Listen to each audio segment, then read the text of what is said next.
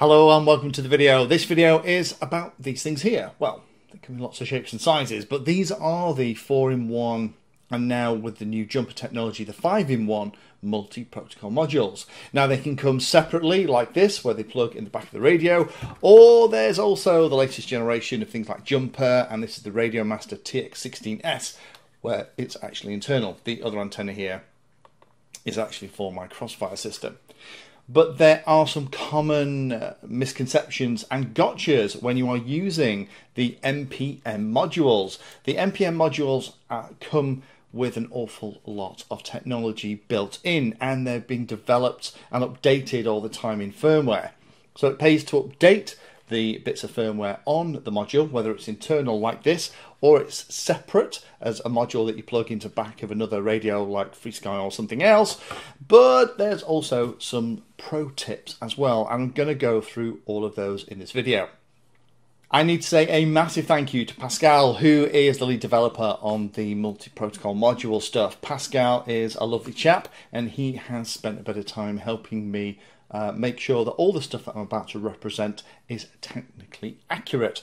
Now, as with all of this stuff, Uh, this information that I'm about to give you is up to date as of the recording of the video, and I'm recording this in early August 2020. But wherever you can, go and have a look at the wiki and have a good read of the content. There is an awful lot of information in there. I know it can appear a little bit overwhelming, but if you're going to be using the MPM modules, multi protocol modules in anger, it definitely pays to go through that documentation because there's a lot in there that you don't realize these MPM modules actually do. And hopefully by watching the video, I'll explain some of the tips and tricks. Now, to help you find a specific answer that you might be looking for, there are time codes below this video, as well as every time I show something on the screen that's a URL or a link, again, I'll pop it down below to make it easy to find. So let's talk about the first thing. This is about the channel order on your multi-protocol radio. Now when you go to flash it, there's actually several different versions available. TAER, AETR and a couple of others. And that needs to match the default channel order in your OpenTX radio. Now you can find the default channel order in your OpenTX radio by going here in OpenTX and similarly, you can find the channel order on your multi-protocol module by going here on the radio 2. Now, they should match, and the reason that they should match is that the channel order doesn't set the channel order coming out the antenna. I'll talk about that in a moment. It tells the multi-protocol radio what the channel order is to expect from OpenTX. Now that's important because the module does some very clever things. If you select Spektrum, which default order is TAER, and you have a different channel order on your radio, because the multi-protocol radio knows the channel order that's already there, it will automatically move and reassign them into the right order. Similarly, if you're using one of the Futaba protocols on here, the default Futaba order for channels is AETR, and you have something else on your radio, again, the multi-protocol module is very clever, and it will move things around. The only exception is for uh, things like FrSky that don't have a default channel order, be whatever you want, uh, it just passes through directly. Now, the trick is here is if you're going to update this, I'll talk about updating in a minute, then always update it with the same channel order as the one that's already on the radio and you won't fall foul. The other cool little trick is if you updated your radio with the latest versions of OpenTX and the SD card, if you go into the system menu, in there is something called the multi-channel renamer. If you run that, it'll detect what protocol you have set for the particular model that you've got set up, and it will name all of those channels inside the model that you're using. So no matter whether you're using Spektrum, uh, Futaba, whatever it is, it'll put it in there. Even things like channel 16, which is like an auto bind switch, again, I'll talk about that in a minute, it'll just all appear and make it very, very simple. So if you are not sure what the channel order is or what additional extra pieces get set up in that protocol, using the multi-channel renamer will take care of all that for you. How do I update the module is another great question. Now I've already done a video on this, I'll put a link in the description. Uh, it's relatively straightforward, you go to the website, you download the version with the right uh, channel order, TAER or as I just described in the first answer. And then you pop it on the SD card in the firmwares directory, fire up your radio, go into the system menu, go into the firmware menu, select that bin file, and then flash internal if it's something like this, or if it's plugged into the back bay, flash external, and it's pretty straightforward. Again, link to how you go through that process in a little bit more detail in the description. It's worthwhile keeping an eye on the updates and updating regularly. There are lots of improvements and additional protocols coming all the time, and it pays to keep up to date. You'll notice in the last version of OpenTX, as I'm recording this, it might warn you after you've updated the latest version of OpenTX that the module needs an update, and that's probably going to happen more and more as the technology continues to evolve and improve. There is also a way to update the bootloader within the multi-protocol module and that again I'll put a link in the description if you need to do that but with a modern version of the radio like something like this the Radio Master you're probably not going to have to do that. Another common question that I get is, uh, is such and such a protocol supported? Is this protocol, is that protocol supported? Uh, again, because it's changing all the time, the best place to look is in the wiki. Everything is listed in there of which protocols and what kind of telemetry is supported. And because it's changing all the time, I'd always refer you there first. By updating to the latest and greatest firmware, you're always going to have the latest and greatest versions of those protocols on your multi-protocol module. So if you're not sure whether or not something is supported, go and have a look in the wiki and search for that particular protocol that you're after and you'll find the answer. I have been asked quite a bit over the last couple of weeks as I'm making this video, is FrSky Access supported? As of the date of recording this video, uh, that's not something that the development team have looked at yet. However, if FrSky have done with Access what they did with the ACCST version 2.0 protocol, i.e. included encryption, then it might not appear on the MPM modules.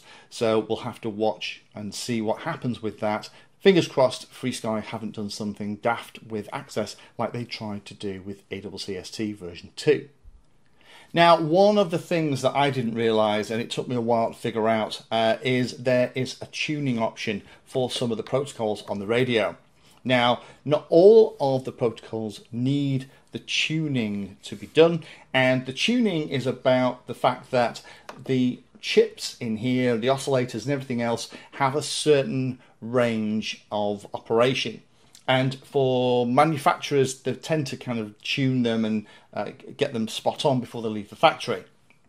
With the 4 in 1 modules and the hardware that we have here, then it makes sense to tune some of the protocols. So, for example, the Futaba um, SFHSS, uh, the one that I use to do the E160 helicopter setup, it is absolutely worthwhile going through the tuning process.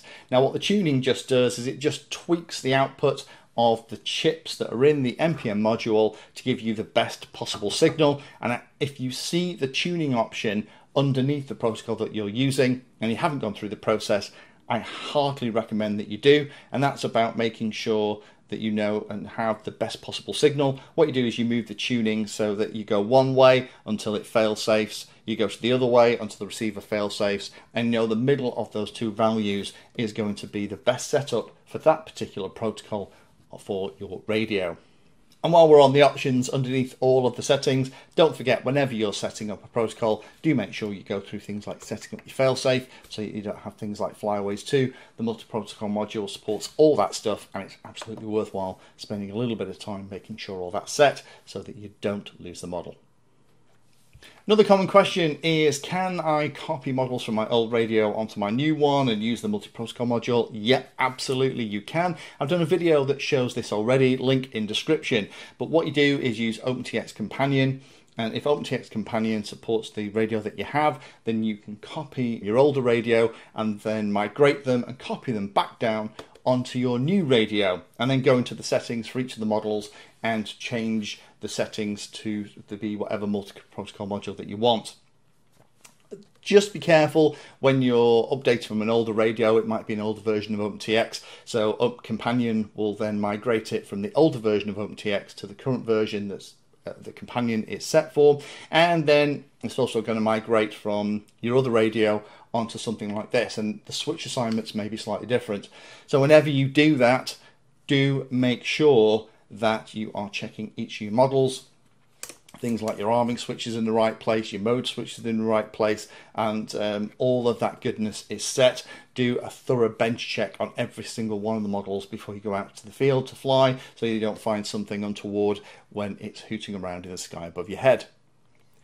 While we're talking about copying from one radio to another, you can do something called cloning. Now, cloning isn't available for all of the protocols. I'll put a link down below for those that it currently supported for. But what you can do is set this radio up and you can make it pretend as though it's a receiver. So for something like FrSky, it can pretend it's a D16 receiver. You can then bind to it from your older radio, and then this one can pretend to be that old radio because it's just learnt the radio settings by going through that bind, and that is really good. So what I've done here is I've copied all of my old models all, all my models from my old radio, my uh, aging Taranis, and they're on here. I've also cloned it as well. So now I can link to all of the receivers in my models by using that cloned radio ID. It's a fantastic feature and means that rather than me having to find the receiver inside 20 or 30 models buried away inside foam wings and all that stuff, this radio can pretend to be my old Taranis and work great doing it link to my video where I show all that down below. A couple of last quick tips. First of all is how do you bind a receiver? Binding a receiver is exactly the same as you would with any other system. If you're using a protocol where there's a bind option underneath, then the tip for this is put the receiver into bind first. That might be pressing a button on it while you power it on, it might be shorting two pins, whatever, and then select the bind option in the radio under the protocol that you've just selected and you should get a bind and away you go. And that's the pro tip. Some of the binding sequences for the multi-protocol radio are a lot shorter than for radio that you might be coming from. So whereas your old radio might sit there for a couple of minutes beeping away in bind mode, the MPM might come out of that bind mode very quickly. So I would put your receiver into bind first and then do the radio second, which might um, be the odd way around the way you're used to doing it, but you'll get it to work a lot better doing it that particular way. There is also the option to set up bind on channel. Now bind on channel sets channel 16 by default so that you can pull a switch and you can have the bind happen. Now this is useful for lots of those smaller models that use protocols that don't remember the bind information. So between batteries you have to go and go through the rebind process. Now lots of the more advanced protocols uh, remember the bind information and store it so you don't need to worry about that. But if you are using a protocol where you constantly have to rebind it every time you power it on, then it, by using things like the channel renamer that I talked at at the top, again, uh, link below. If you run that for the model that you're looking at, it'll show you which channel is set. And quite cleverly, what you can do is just by pulling the particular switch that's assigned to channel 16, it will do the bind option uh, simply for you. So for those little models, if you have them, that don't remember the bind information between batteries, and it's just a pest. You kind of have to rebind every time you plug it in. Uh, do check out the channel renamer and do check out the documentation for that protocol. Uh, you can, by the flick of a switch, go through the bind process again automatically could be useful potentially to set up some kind of logical switch to make sure that that only works when the throttle isn't raised to stop you accidentally binding to it when your radio isn't in a safe condition. And last point is again to just refer you back to the wiki. The wiki is uh, very comprehensive uh, and has lots of information in there. If you're struggling to find a little bit of information, going having a look in the wiki. It is well laid out. It's relatively easy to find information if you know what you're looking for. And hopefully, after watching this video, you know some more stuff that you didn't know. You know about the channel renamer, you know about things like the bind on channel. You also know things about why the channel order on the module is important and some other bits and pieces too. So thank you for watching. If you have any other questions that uh, you're not sure about, do pop them on the video. And if I get enough of them, I'll make another video and cover those too. Thank you for watching my video and watching right to the very end. If you want to find out what I'm currently working on, you can follow me on social media by searching for Painless360 in the usual places. If you'd like to become part of the inner circle, then you can become a Patreon. Details are in the description and you get lots of additional benefits. Check out the playlist section on the channel too. I organise all of my videos into playlists and it's called something like Introduction to or for Beginners. All of the content is aimed so that you can start at the very beginning and it teaches you that subject starting with simple principles and moving up to teach you everything you need to know.